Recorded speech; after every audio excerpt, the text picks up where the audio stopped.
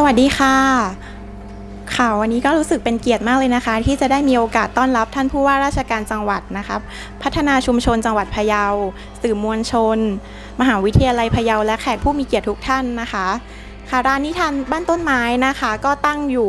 ถนนราชวงศ์นะคะ อยู่ไม่ไกลจากกวานเท่าไหร่ค่ะ ก็ร้านของเรานะคะ ก็จะเน้นขายผลิตภัณฑ์โฮมเมดค่ะที่ทำมาจากวัตถุดิบใกล้ ๆ ตัวเนี่ยแหละค่ะ ก็ตอนนี้นะคะก็จะมี เครื่องดื่มและเบเกอรี่ทั่วไปนะคะ มีกาแฟมีเครื่องดื่มสมุนไพรเครื่องดื่มจากผลไม้นะคะ แล้วก็มีขนมต่างๆที่ทำมาจากที่เราปลูกเองในสวนหลังบ้านนี่แหละค่ะ ยกตัวอย่างนะคะก็อันนี้จะเป็นบราวนี่กล้วยตากนะคะ ก็ได้มาจากกล้วยตากที่คุณยายทำนะคะ ตามวิธีภูมิปัญญาไทยๆเนี่ยแหละค่ะ แล้วก็เสร็จแล้วเราก็หนูก็เอามาให้แม่ทำต่อเป็น อย่างที่แม่ถนัดนะคะ เป็นบราวนี่กล้วยตากนะคะ แล้วก็สุดท้ายร้านเราก็จะมีหน้าที่ในการเอาบราวนี่เนี่ยมาตกแต่งเอามาทานคู่กับไอศครีมโฮมเมดที่ทำขึ้นมาค่ะ แล้วก็ตกแต่งให้สวยงามค่ะ แล้วก็ร้านเรานะคะจะเปิดตั้งแต่ 10 โมงถึง 6 โมงเย็นค่ะ ค่ะ ร้านของเรานะคะจะมีบริการมีเครื่องดื่มนะคะ มีกาแฟแล้วก็มี เครื่องดื่มที่ทำจากผลไม้แล้วก็สมุนไพรในบ้านนะคะ แล้วก็จะเป็นขนมโฮมเมดต่างๆนะคะ ยกตัวอย่างเช่น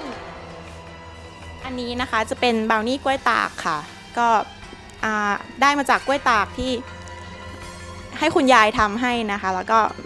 ต่อไปก็ให้แม่มาทำเป็นบราวนี่ให้ค่ะ แล้วก็เดี๋ยวทางร้านเราก็จะเอามาต่อยอดต่อ เอามาทำเป็นเมนูทานคู่กับไอศครีมค่ะ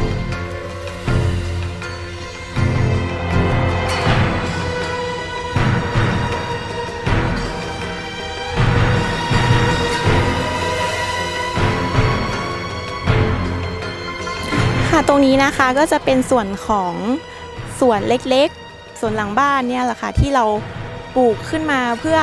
จะเอาวัตถุดิบมาใช้ภายในร้านนะคะมีถ้ามีโอกาสก็อยากจะไปสนับสนุนชุมชนให้ทำแบบนี้ค่ะ แล้วก็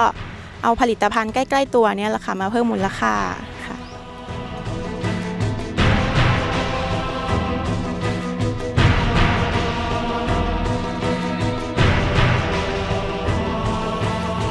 และที่ด้านหลังของหนูนะคะ ก็เป็นโรงอบพลังงานแสงอาทิตย์นะคะ เราจะเน้นการใช้พลังงานสะอาดค่ะ โดยที่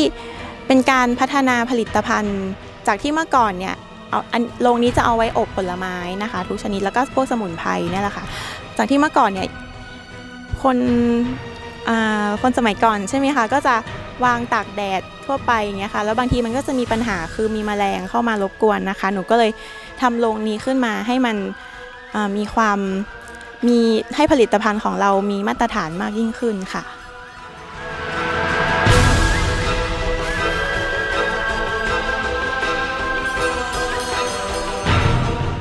ค่ะทางร้านเรานะคะก็แบ่งเป็นโซนต่างๆนะคะ อย่างเช่นโซนนี้ก็จะเป็นเป็นเรียกว่าแกลเลอรี่แล้วก็พื้นที่ทำงานสำหรับลูกค้าค่ะ ก็ให้มานั่ง พูดคุยพบปะกันแล้วก็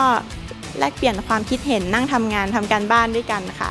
เด็กๆก็จะมีมุมให้อ่านหนังสือค่ะ นอกจากนี้เราก็จะพยายามให้โซนนี้เป็นแกลเลอรี่ที่เอาวัตถุดิบจากธรรมชาติเนี่ยค่ะมามาแปลรูปเป็นของแบบเป็นศิลปะชนิดต่างๆค่ะ